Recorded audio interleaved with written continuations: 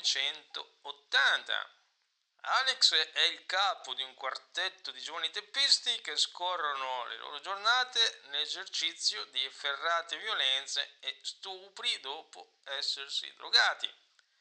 A farne le spese sono un mendicante selvaggiamente picchiato, una banda rivale fatta a pezzi, una ragazza di strada violentata e infine uno scrittore massacrato di botte fino a procurargli una paralisi agli arti, mentre sua moglie, di cui abusano, morirà qualche tempo dopo.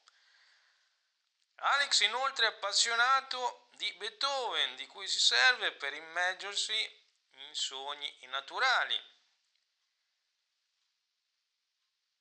Scontenti per il suo dispotismo, i compagni, allorché egli uccide una ninfomane, lo colpiscono e lo lasciano nelle mani della polizia. Dunque, eh, l'arancia meccanica muove da un interrogativo psicologico, etico e sociale. È possibile oggi essere uomini mediante autonome scelte tra bene e male? Vi risponde con estrema sfiducia denunciando una cultura condizionante, alienante, deformante.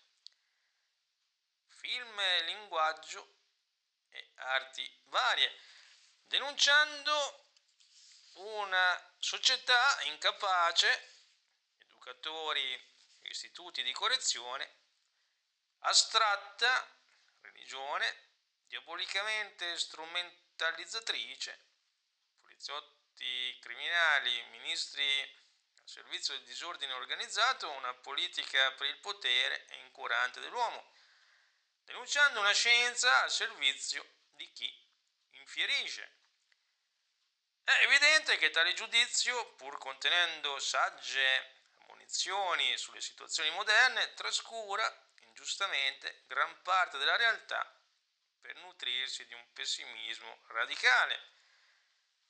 Inoltre, pur riconoscendo all'opera notevoli qualità tecniche, originalità di soggetto, potenza evocativa, armonioso uso degli elementi di tutto il linguaggio audiovisivo, si deve sottolineare che l'analisi è fatta partendo da estremi di violenza e sesso, quasi che le chiavi di lettura della psiche e della società siano le pagine più virulente di Sade, Freud e Marx.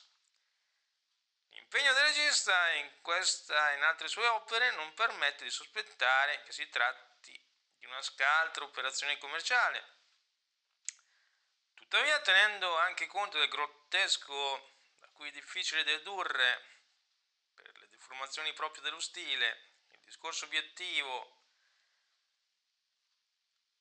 è da ricordare come sia facile che quest'orgia di sesso e violenza si proponga come tale allo spettatore e magari, contro le sue intenzioni, divenga un autentico condizionamento a danno della coscienza. La regia è di Stanley Kubrick con Michael McDowell, Patrick McGee, Michael Bates, John Clive Paul Ferrer, tratto dall'omonimo romanzo di Anthony Burgess, che pochi in effetti citano quando parlano di questo film. 138 minuti segnaliamo la bellissima fotografia di John Alcott. Origine Stati Uniti, possiamo definire questo film commedia satirica.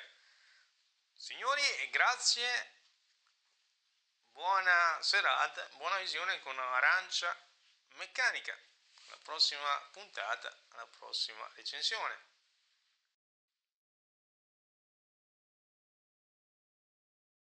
Thank you.